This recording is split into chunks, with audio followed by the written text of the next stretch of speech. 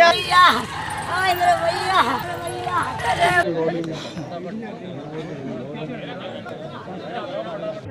ये दिनांक 19 और 20 की रात को एक दुखद घटना हुई थी।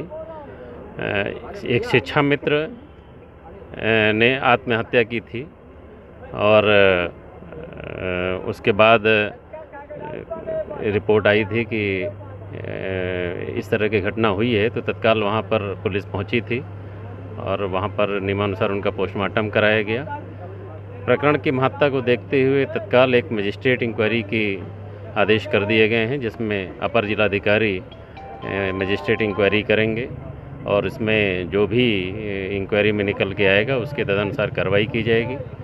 और इसके अतिरिक्त हमारे साथ के जो अन्य शिक्षक बंधु थे, शिक्षक संघों के थे, शिक्षा मित्र संघ के लोग थे।